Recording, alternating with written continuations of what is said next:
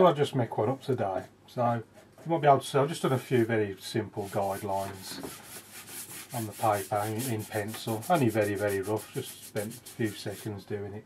I'm just putting clear water, just wetting the paper all over like I normally do. And then I'm just going to go a bit crazy now I think with the colours. Try a bit of everything. Go a bit of, bit of light red, lemon yellow.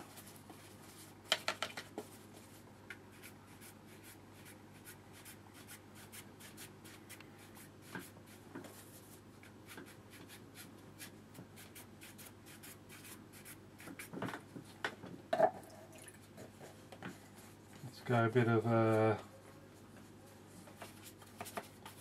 ultramarine, ultramarine, bit of Payne's grey.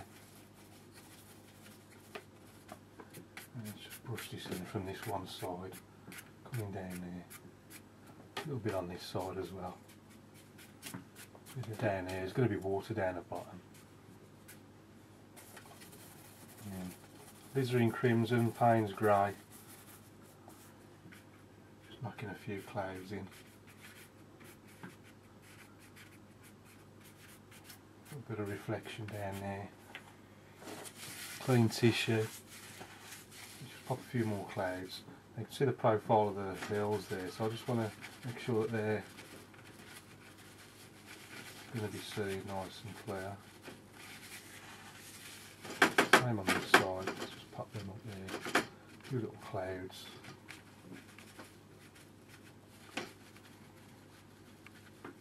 Little one up there. And then using the same colours, just pop in some of these hills up there. And just vary the colour slightly as it's coming down. Maybe even soften this off a bit. A few clouds coming over the hills and mountains. So just do a hit and miss. So sort of coming over there and then a bit more down the bottom. And then same on the other side. Just changing the colours, I come down. Just constantly varying it. It comes down into the valley at the bottom. A bit more on this side. Bit of green, bit of the grass on the lower slopes of the hills.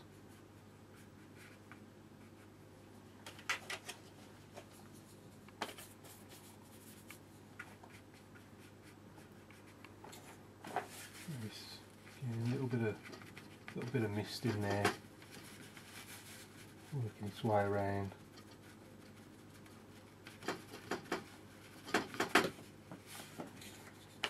And it continues.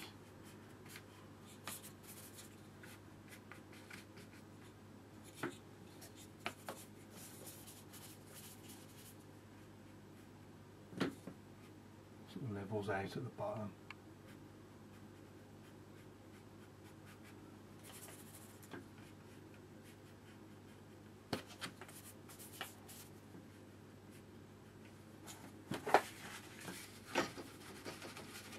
Going to put that a bit more misty and then maybe stick a few trees down there. Just lighten that off so you can see the tree line when I put it in.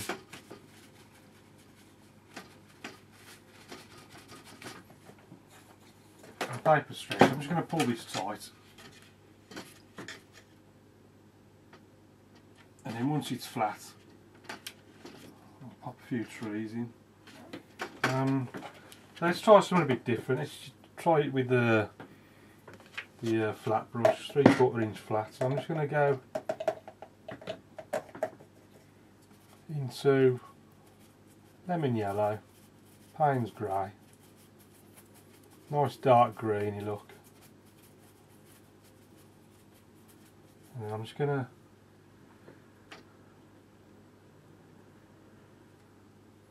I mean, you can use the hake if you want with them. I'm just going to sort of flick up some some trees. See, look, see, it looks like trees going up the mountain. Just flicking them up there. Like I say, you can use the hake for that if you want. I'm just doing it just Just to try something different really. Bring that right down to the bottom. Yeah, just work that. Let's put a few on the other side. A few more going up this mountain. Just flick it up. Even try doing it like this, just sort of see how you sort of flick them up like that. Do them in big batches then, do a whole load of them in one go. But vary the height as well, in fact we just go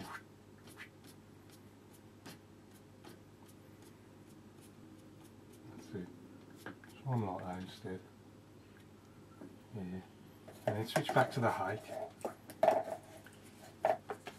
Give it a quick clean. Now I'm just going to go straight into raw sienna. Raw sienna, just get the bottom of that, bring that down a bit. Blend it all in. That's sort of nicely blended in there, just a bit on the other side.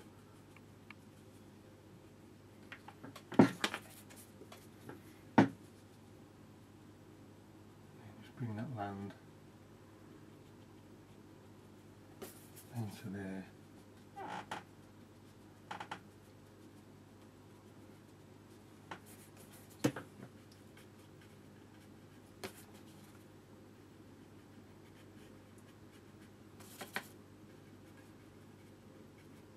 Just leveling it out.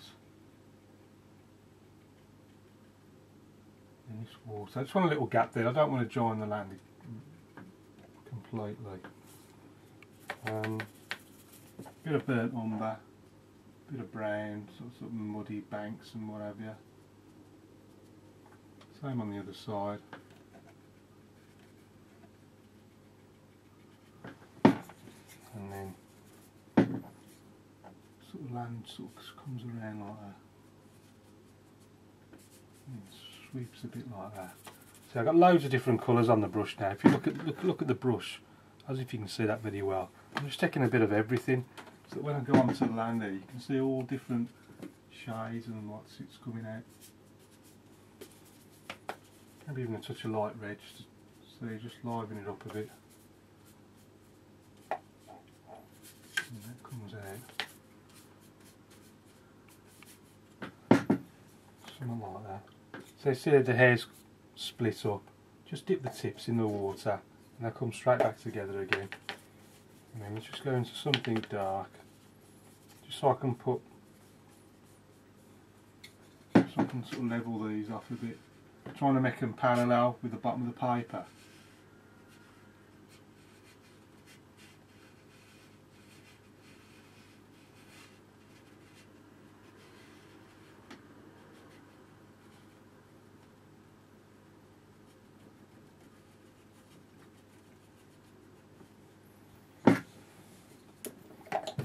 Even. Take a little switch to the rigger. Let's just pop a little boat in there somewhere. Little boat on the water. Water.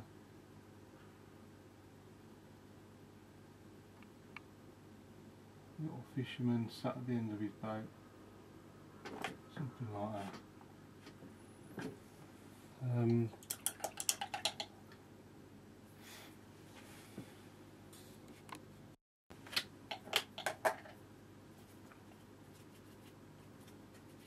sticking with the rigger.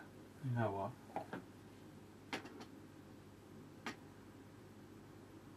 Just going to pop my name there.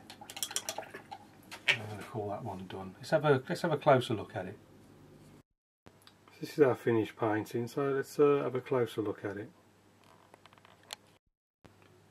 So one of the uh, benefits of just mixing up as you go along, you get a chance to just go crazy with the palette. So obviously not having to keep looking at the reference photo. You can just go crazy with the sky. Put all sorts of colour in there. Work it all the way down. And then reflect it into the water. Some nice sky reflections. Down the mountainside. I've, I've took bits off with the tissue to try, I'll try and create that sort of misty look. Sort of cloud coming over the side. And then sort of misty. And then left some edges hard and then back to misty same on the other side working our way up this you see I took it off with the tissue and then hard edges again all the way up the mountain side You see how the flat brush can be quite effective for creating great big batches of trees with very little effort. Same again on this right side. Remember how I took the uh, the paint behind it off with a tissue. See how it's lighter there, just to help with see the profile of the trees working their way up the mountain side. Then just use a bit of raw sienna just to blend it in with the bottom as the land just works its way out into the loch. Same again on this side and then just using various colours just brought the land all the way around into the foreground. And I never even touched the water, I just use it as a reflection of the sky. And then our little man in the boat just adds a bit of life to the scene. Well I hope you like that. Thanks for watching, keep practicing. Any questions please ask and I'll see you again soon.